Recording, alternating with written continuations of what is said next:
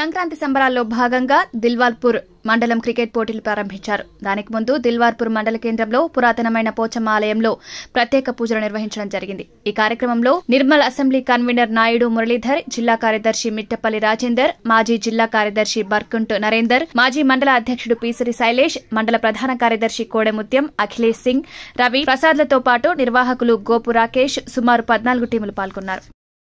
ఈ సంక్రాంతి సెలవుల సందర్భంగా మరి దిలార్పూర్ మండల కేంద్రంలో క్రికెట్ పోటీలను నిర్వహించాలని మా మిత్రుడు శైలేశ్వర్ అడిగిన దానికి మరి మేము కూడా ఈ యువత అందరినీ ఒక్కసారి సంక్రాంతి పండుగ శుభ సందర్భంగా మరి ఉత్తేజపరిచి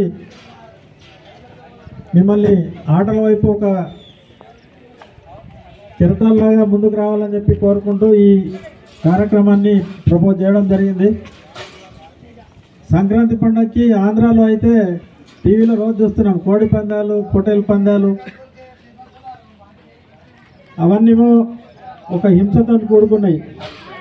మరి ఇక్కడ స్నేహపూర్వక వాతావరణంలో విద్యార్థులు ఎంప్లాయీస్ అందరూ పండుగని సరదాగా ఎంజాయ్ చేస్తూ మీ అందరి మధ్యలో స్నేహ వాతావరణం పెంపొందాలని కోరుకుంటూ ఈ పోటీలను నిర్వహించాలని మనం నిర్ణయించినాము.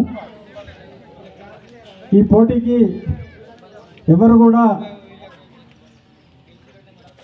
విద్వేషంతో వ్యవహరించకుండా అందరూ స్నేహపూర్వక వాతావరణంలో ఆడి గెలుపోవటంలో స్ఫూర్తిగా తీసుకోవాలా స్పోర్టివ్గా తీసుకోవాలా? అంతేగాని వేరే ఏ విధమైన ద్వేషాలను పెంచుకోవద్దని చెప్పి నా మనవి. మరి పోటీలో పాల్గొనడానికి వచ్చిన అన్ని జట్లకు దిలార్పూర్ మండల్ నర్సాపూర్ మండల్ నుంచి వచ్చిన అన్ని జట్లకు జట్టు సారథులకు టీం మెంబర్లకు ఎంపైర్లకు దిలార్పూర్ మండల కేంద్రంలోని శైలేశ్వర్ రాజు పటేల్ సాబ్ అందరి మా మిత్రులందరికీ ముత్యం గారికి పేరు పేరున మరి మీరు ఈ నిర్ణయం తీసుకున్నందుకు మిమ్మల్ని అభినందిస్తున్నాను.